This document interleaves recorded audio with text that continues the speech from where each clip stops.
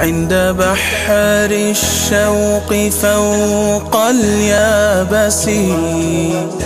التقينا بطيور النورس. أرجعتنا لصباحات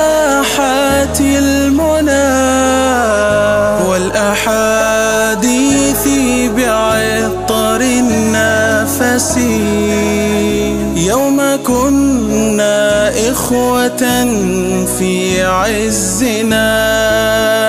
عزنا عزنا. نصنع الحب رقيق الملمس. تجد هذه الفتاة وقد مسخت نفسها كائنا آخر. ثم بعد ذلك تزعم وتقول أنها تنتمي إلى هذه الهوية. نحن لا نخرجها من هذه الهوية ولكن نقول لها إن هذه الهوية هي هوية لا إله إلا الله. والتي تأتي بعدها كل الهويات الأخرى أو مركبات الهوية الأخرى تقتضي منك سمتا معينا تقتضي منك نمط تفكير معين. فالهوية التي يريدها الله عز وجل عند المسلم وجنسيته هي عقيدته هي دينه هي ما يصلح له في دنياه وفي آخرته.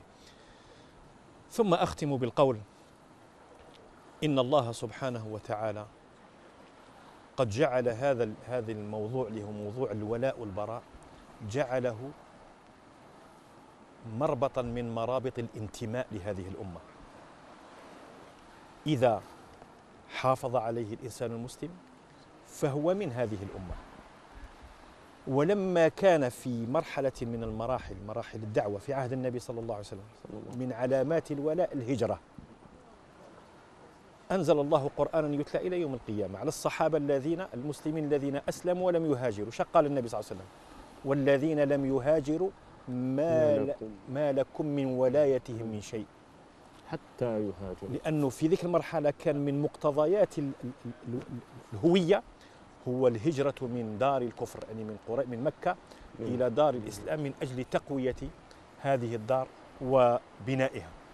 فنرجو نتمنى نكون هذا الموضوع صح شائك. طبعا. ومعقد أرجو أنني قد حاولت تبسيطه على حسب علمي واستطاعتي. آه ما أصبت فمن الله ومن الله وحده. جزاكم الله خيرا. وإذا أخطأت فهو من, من نفسي من الشيطان. سئل أبو العالية رحمه الله قيل له ما معنى اهدنا الصراط المستقيم؟ ما الصراط المستقيم؟ وكانوا الجماعة قد بدأت بذرة الخلاف عن الصحابة تظهر. قال الصراط المستقيم أبو بكر وعمر. لما سمع الحسن البصري هذا الكلام قال صدق أبو العالية ونصح. في بعض الأحيان نحن لا نحتاج درسا طويلا ولكن نحتاج أن نقول الكلمة التي ينطلق بها السامع مباشرة إلى العمل ويصلح بها نفسه وأحسبها إن شاء الله هذه أتراني وفقت في ذلك؟ إن شاء الله تعالى. شوف الغيث راه ينزل والآن ساعة الآن جمعة بعد صلاة العصر. لعلها ساعة الإجابة آمين. نسأل الله أن يصلح أحوالنا وأحوال أمتنا آمين. وأن يجعلنا ممن رضي عنه آمين آمين وأدخلهم جنته آمين ونسأل الله أن يحيينا وإياكم حياة طيبة آمين. سعيدة آمين. مطمئنة مباركة آمين. ملؤها الإيمان آمين. ملؤها آه السعادة ملؤها آه العمل من أجل إعادة هوية هذه الأمة آمين. كما نسأل الله لأمتنا أن يصلح حالها آمين وأن تعود كسابق عهدها أمة التي قال فيها الشاعر الشاعر المسلم قال وآلمني وآلم كل حر سؤال الدهر أين المسلمون؟ الله. السلام عليكم ورحمة وعليكم الله. السلام ورحمة الله وبركاته. يا نسيم الوصل هذا مجلسي.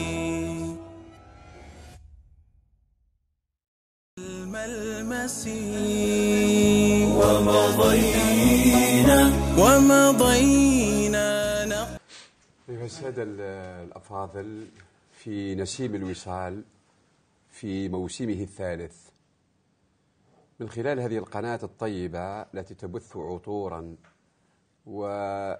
وتستقي هذه البينات والكلمات الطيبات من مروج الله سبحانه وتعالى. وددنا في هذه السهرة أن نتحدث عن مقروءاتنا فيما له صلة بالهوية. أنا العبد الضعيف أذكر أني قرأت كثيرا فيما له صلة بالهوية كتب ودراسات وأبحاث وملتقيات لكن لفت انتباهي كتاب لا زلت أذكره إلى اليوم. قد أكون متحيزا فليسامحني الرب سبحانه وتعالى.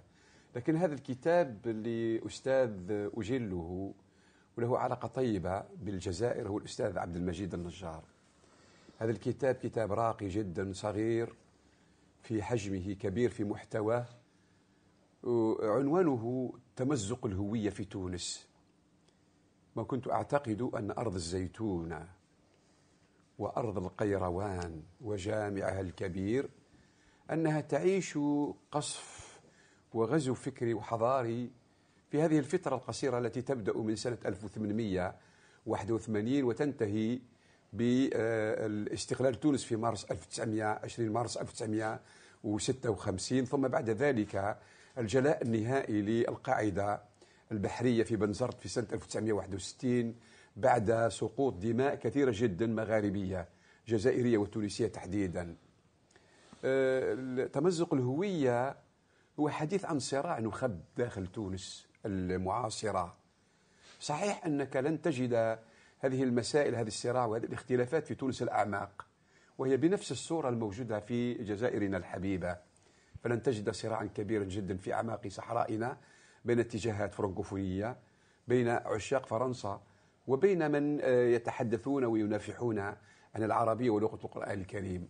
وددت أن تكون آه، هذه البداية من مقروءاتي أن تمزق الهوية ليست مسألة سهلة جدا. قد يعتقد الخلق أننا بمنأى عن هذه الصراعات وصراع الهويات وصراع اللغات آه الذي يطول كثير من بلدان العالم الثالث التي لم تستوثق بعد استقلالها بشكل جيد خاصة استقلالها اللساني واللغوي والحضاري. وهي مسألة تحتاج منا إلى فرصة أكبر ربما مما آه، قام به أسلافنا أثناء ثورة التحرير 54 62 أعتقد أنه آه، من مقروءاتي فيما أتى في كتاب الأستاذ عبد المجيد النجار أطل له في أنفاسه وهو يكن كل الاحترام لهذا الوطن الغالي الذي احتضنه في العاصمة أو في جامعة الأمير عبد القادر من خلال آه، كتبه ومطبوعاته ودراساته وتأصيله لقضايا آه، رائعة جدا عند ابن عرفة أو المهدي بن تومرت أو كتاباته عن الغرب الإسلامي. وكذلك موسوع الموسوع الموسوعته الراقية جدا المتعلقة بالشهود الحضاري وقد اتخذ نموذجا حركة نعتبرها جزائرية هي الحركة السنوسية لذلك تمزق الهوية في تونس. أكيد تستطيع أن تسحبه على ليبيا على الجزائر على المغرب. فنحن نعيش نفس ظروف تونس من خلال الصراعات التي أحدثتها الصدمة الاستعمارية. من أيام غزوها للجزائر. وهذا الكلام تتحدث عنه مؤرخة كبيرة جزائرية يهودية هي لوسيت فالنزي صاحبة الكتاب الشهير المغرب العربي قبل سقوط مدينة الجزائر. le Maghreb arabe avant la prise d'Alger. وهي تتحدث عن الصراعات السياسية وغياب نخبة ثقافية وسياسية ما عدا البدايات الأولى ما بين 1830 و 1940 1840 وكأنها تقول هذه السيدة الكريمة أه ونحسبها كذلك لأنها كتبت شيء الكثير جدا عن النخبة الجزائرية والنخبة التونسية. أه تقول أن الجزائريون في هذه الفترة كانوا لا يملكون نخبة عالمة. يمكن أن تدافع عن كيان وطن كيان الجزائر ويمكن أن تكون نموذج للتسامح كما آه، تدعي آه، هذه السيدة الأنثروبولوجية والمؤرخة. لكن الثابت أنه المغرب العربي عموما أو المغرب الإسلامي أو الغرب الإسلامي كان كما أنعته في أعمال التاريخية كان قد عرف اضطرابات كثيرة جدا في فترة آه، العقود على الأقل السبعة الأولى من الاحتلال الفرنسي ثم بداية توسع الفرنسيين في أقصى جنوب الغرب مع احتلالهم لمنطقة مالي والنيجر وحتى أجزاء من شمال نيجيريا ثم بعد ذلك الامتداد شرقا إلى تونس. وأطماعها الكبيرة جدا في آه، طرابلس غرب. وأنتم تعرفوا أيها السادة الأفاضل آه، أن أن الفرنسيين يملكون أسلوب دعاية رهيب جدا. ولذلك لهم القدرة على تسويد وجوه الناس ولهم قدرة على تشويه أخلاق الخلق. من هذه الصورة التي نسميها نحن في وسائل إعلامنا تجفيف الينابيع أي الدعوة إلى تحطيم كل ما يمت بجذور ثقافتنا وحضارتنا بصلة.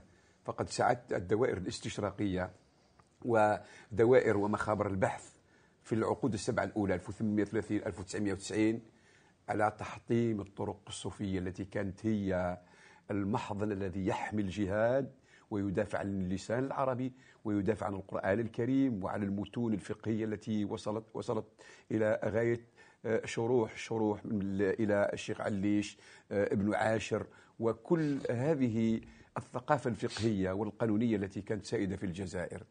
أعتقد أن تمزق الهوية كنموذج انطلقت منه للأستاذ الأستاذ عبد المجيد النجار وما سنقرأه فيما بعد من كتابات للفرنسيين أنفسهم مثل ما هو مكتوب حول المعلم الجزائري إيفان تورا ليزافرونتمون كولتورال الصراعات الثقافية والفرنسيون يركزون مؤرخون وعلماء أنثروبولوجيا نساء ورجال يركزون على حاجة اسمها الصراع الموجود في الجزائر بين المدرسة التقليدية ومدرسة الحداثة. والمدرسة التقليدية هي التي تحافظ على الزاوية والمسجد والمسيد والمدرسة المسلمة ومن خلالها المسجد الجامع ومدرسة الحداثة. هي هذه المدارس اللقيطة التي أنبتتها فرنسا في أرضنا الطيبة من تمراست إلى بلاد القبائل العزيزة على كل الجزائريين إلى قسنطينة إلى وهران إلى تلمسان. سواء كانت مدرسة شرعية فرانكو ميزيلمو أو مدرسة للتكوين المهني والتي لم يتخرج فيها إلا الصعاليك وشذاذ الآفاق. أعتقد أن الفرنسيين يجب أن يبتعدوا عنا كثيرا لأن هؤلاء لا يريدون لنا الخير. سواء قبل 1830 أو 62 أو ما بعد 62 أعتقد أن آه، كل المصائب التي آه، آه، أتتنا وربما ستأتينا من الضفة الشمالية هي كلها تحمل بذور تفتيت هويتنا. وأنتم تعلمون أيها السادة الأفاضل ومن خلال هذه القناة الطيبة أن هويتنا الصلبة التي تقوم على القيم التي حددها الجزائريون من أكثر من 1400 سنة واستطاع أن يلخصها الإمام العلامة عبد الحميد بن بديس هذا الرجل الرباني من خلال الإطلالة الجميلة الرائعة شعب الجزائر مسلم وإلى العروبة ينتسب من قال حاد عن أصله أو قال مات فقد كذب.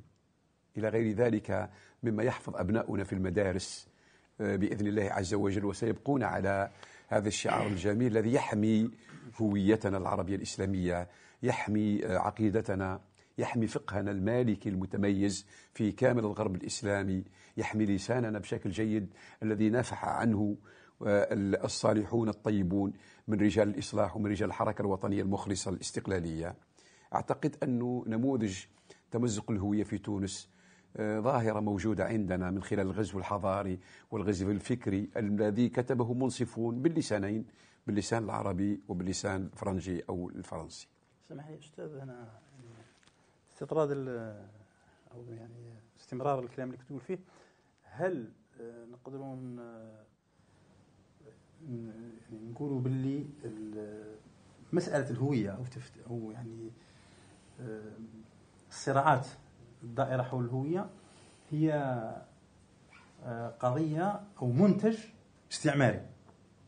بمعنى أنه هل كان هل هذا هذه الأطروحات أطروحة الهوية. كنت في حوار مع الأستاذ أمين آه، في المساء أنه ذكرت أنه حتى حتى مصطلح الهوية والحمولة نتاعه الاجتماعية والثقافية الآن هو مصطلح داخل اللغة العربية. مصطلح الهوية كان يستعمله المتكلمون الأصوليون المناطق. بمفاهيم أخرى لا علاقة لها بالمفهوم الاجتماعي الآن والثقافي. هذا السائد. بالمفهوم الجديد بالمضامين الجديدة والحمولة الجديدة هذه يعني هل كانت الأمة المسلمة بشعوبها وأقطارها تعرف هذا النقاش؟ يعني في حدود علمي لم يكن هذا هذا الأمر مطروح للنقاش على الإطلاق. فهل نقدر نقولوا باللي أن الصراع حول الهوية بكل التمثلات نتاعه والمظاهر نتاعه الآن الثقافية والإعلامية والاجتماعية وكذا هو منتج أو ثمرة للاحتلال بمعنى أن هذه القضية لولا الاستعمار ما كان لها أن توجد في الجزائر نعم هذا كلام صحيح إذا سمح لي آه، الإخوان. آه، الغرب يوم آه، غزانا في عقر ديارنا في غفلة منا وفي غفلة أسلافنا بالرغم من أنهم قد قاموا بواجبهم في الجهاد حتى لا يلقون الملامة من في حوليات تاريخ أوطانهم. لكن الثابت أن هؤلاء الغرباء حينما جاءوا كانت أهدافهم السيطرة على مقدراتنا الاقتصادية ولا يمكن لا يتأتى لهم السيطرة على هذه المقدرات إلا بتفتيت وحدتنا الاجتماعية وتمزيق آه، كل ما يمت بصلة إلى قوتنا. وبالتالي نحن صحيح آه، افتقدنا إلى البارود افتقدنا إلى الدبابة افتقدنا إلى الطائرة لكن كانت عندنا حاجة يسموها الذات الثقافية. هذه الذات الثقافية هي جزء من مكونات الدين مكونات الإسلام مكونات العربية.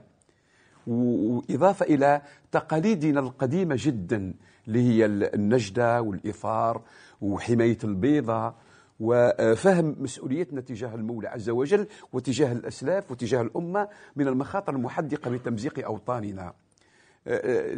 عندنا نموذج سيء في تاريخ العالم هو النموذج الفرنسي. يوم دخلت فرنسا إلى بلدنا بدأت في العقد الأول 1830 1840 إلى البحث عن أساليب تفريق الجزائريين. فبدأت أولى أساليبها الشيطانية الخبيثة بحاجة يسميها الدكتور أبو القاسم سعد الله رحمة الله عليه سياسة الصفوف أي تفريق الجزائريين من خلال انتماءاتهم الاجتماعية والوظيفية. فإذا جاءت مثلا إلى العاصمة في وسكان المتيجة تقول له أنت أندلسي. أنت تملك صورة رجل متحضر بلباسك ولسانك وإلى غير ذلك من هذا هذا الآخر اللي هو الزواوي هذا براني. هذا لا يسمح له بالدخول من باب عزون وبدأت آه، بسياسة تفريق تفريق ما بين مكونات عناصر المجتمع الجزائري. أنا أسميها هكذا في كتبي. هذا مزابي هذا شاوي هذا قبلي هذا الجلفاوي هذا عربي. ثم بعد ذلك انتقلت إلى مرحلة ثانية بحسب أمانة آه، شيخنا الدكتور آه، سعد الله ولا تفرق بين هذا عربي وهذا قبايلي هذه لم تكن موجودة في آه، قاموسنا التاريخي. صحيح أنه من أجل التفريق بين الجهات وبين الانتماءات القبلية أنه إحنا كنا مجتمع قبلي. والمجتمعات القبلية عادة تتعرض للمنافسة والصراع. كانوا إحنا كنا بحسب إحصائيات 1867 حوالي 557 إلى 657 قبيلة. كل قبيلة أكيد أنه عندها أكثر من 90% مما تشترك به أو تتقاطع آه، من خلاله مع قبائل أخرى. لكن في خصوصيات في اللباس من خلال المكان في طريقة الأكل في طريقة الكلام في اللهجة. هذه أشياء تدخل في باب التنوع الغير سيء. لكن فرنسا استطاعت من خلال هذه المكونات وهذه الاختلافات البسيطة بين القبائل آه، على مستوى الجهة على مستوى المنطقة وعلى مستوى المناخ أن تدخل من خلالها كما يدخل إبليس بين المرء وزوجه. فاستطاعت فرنسا أنها تبث نعرة آه، تفضيل عنصر على عنصر. ثم بدأت من 1833 في كيفية دراسة اللهجات وأسست في منطقة القبائل لوحدها أكثر من 20 مخبر لدراسة الحالة حالة الإنسان الأهلي الانديجان وهذه المخابر بعد ثلاث عقود وصلت إلى نتيجة ومتوفرة ومنشورة في العربية أفريكان المجلة الإفريقية تقول باللي هذا الإنسان الجزائري أو هذا الجزائري عفوا ما هو حيوان ما هو إنسان. هو جنس ثالث. بمعنى ذلك أنه un sauvage un primitif إنسان بدائي يجب إبادته أو على الأقل طرده إلى حدود ال limes كما فعل أسلافنا الرومان أي ما وراء بسكرة. وبدأت طبعا هذه المسائل حتى في مسائل الممثليات المالية تفرق بين ممثل عربي وممثل قبيلي. وما بين حتى المدارس. وتقول بهكذا بلغة فرنسوية تقول لي le représentant le représentant financier des Kabyles ne demande pas qu'on enseigne l'arabe الممثل المالي لمنطقة القبائل لا يطلبوا آه، أصلا تخصيص ميزانية لتدريس العربية في منطقة القبائل. ومن هنا بدأ التفريق مع العلم أن العربية والإسلام والزوايا زوايا العلم كلها كانت في منطقة أو معظمها كانت في منطقة القبائل. ولذلك بدأت أيضا في ترسيم حاجة اسمها اللهجة. وهذه الآن موجودة عندنا في 2018 دعاة اللهجة.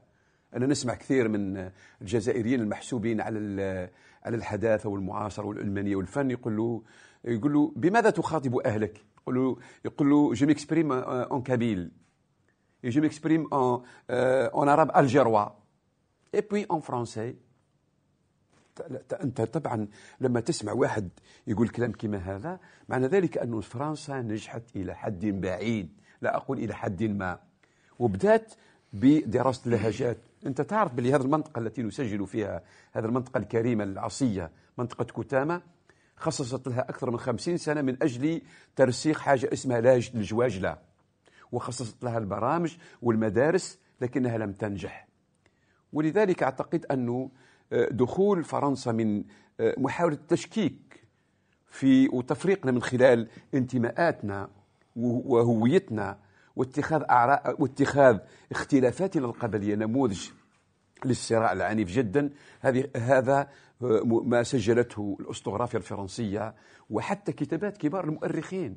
ليس فقط آه، الكتابات الأنثروبولوجية الاستعماريين كشارل فيرو. أنت لما تقرأ إلى شارل أندري جوليان الذي يتخذ إلها عند كثير من آه، الأوفياء الخدم الأوفياء les loyaux serviteurs de la France coloniale يعتبروه حجة يعتبروه نص قطعي الدلالة قطعي الثبوت وبالتالي فلما يتكلم على تاريخنا يتكلم على تاريخ أسود.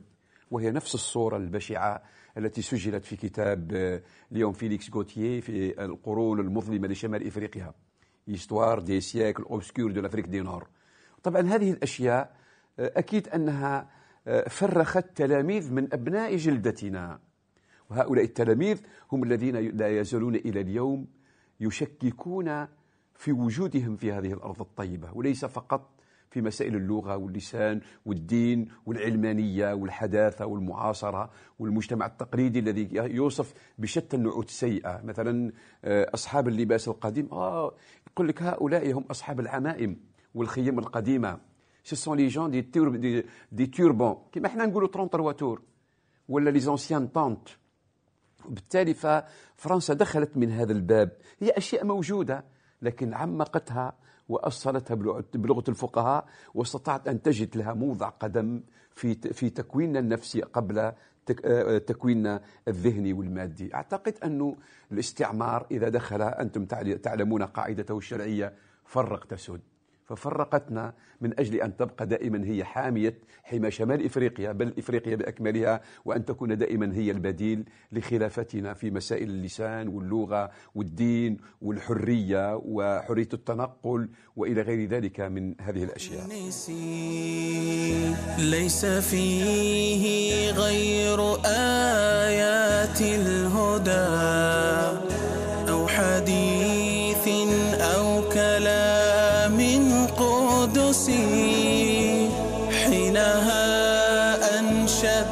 أنشدت شعري فرحة يا نسيم الوصل.